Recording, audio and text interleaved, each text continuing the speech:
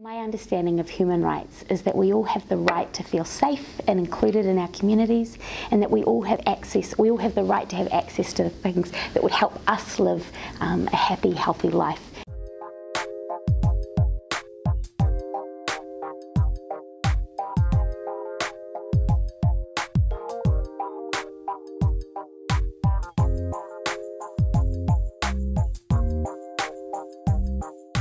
We were prohibited from exercising our rights of either, as either residents or citizens of the country. The state was actively discriminating against our LGBTI community and the question that we asked was, is that fair, is that just and is that acceptable in a modern democracy? Back in the days in Aotearoa, it was illegal to be able to be who you are. And so when that legislation passed, all of a sudden we could be out, we could be proud, we could be who we are. But the legislation and the laws that governed our marriage still couldn't, still didn't say that we could um, legally enter into any partnerships. The fact that you're a second class citizen, that you're not treated as an equal within your own country. Excluding a group in society from marriage is oppressive and unacceptable. There's no justification for the prohibitions of the past based on religion, race, or gender. Um, I think that for a lot of people, um, that has damaged us. It's damaged individuals, it's damaged communities. This is not about church teachings or philosophy. It never has been. It's about the state excluding people from the institution of marriage because of their sex, sexual orientation, or gender identity.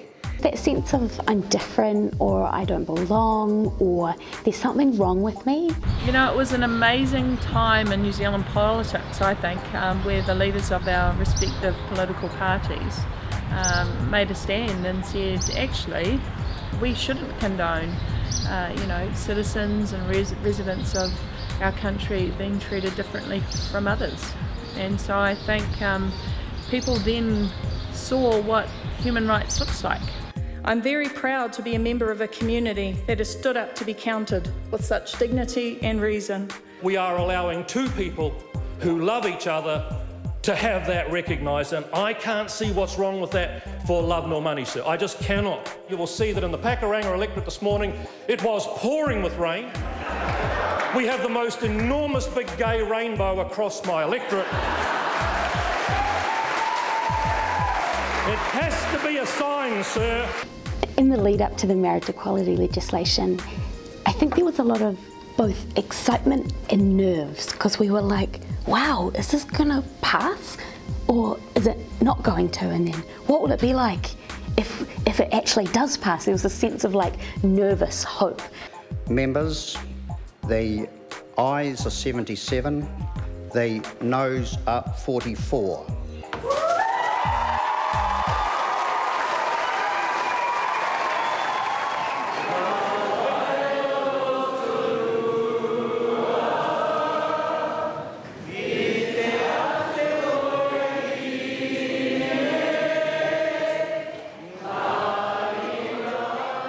It was a hook that really helped unpack the movement for equality and eliminating homophobia and transphobia in our societies. Because, you know, my nana could understand, like, oh yeah, maybe one day all my grandchildren might grow up, they might fall in love, they might get married. And so that all of a sudden became really real for her, whereas, you know, my identity, she was sort of like, oh, that's that person over there, whereas all of a sudden when it came about, you know, something that would impact on our whānau, my ability to marry someone maybe of a similar gender to me, all of a sudden she was invested in that conversation.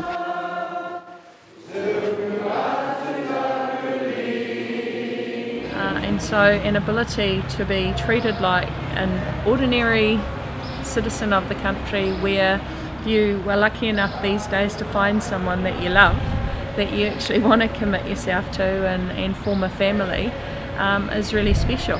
There's definitely a feeling in our community that while marriage is really important, it's obviously not the be all and end all of eliminating homophobia, transphobia. And I hope that that, that, that next step or that, that next push for equality is being able to fully participate in society without any fear of discrimination or um, reprisals based on who you are, who you love, and who you want to be and the way you want to express that in the world.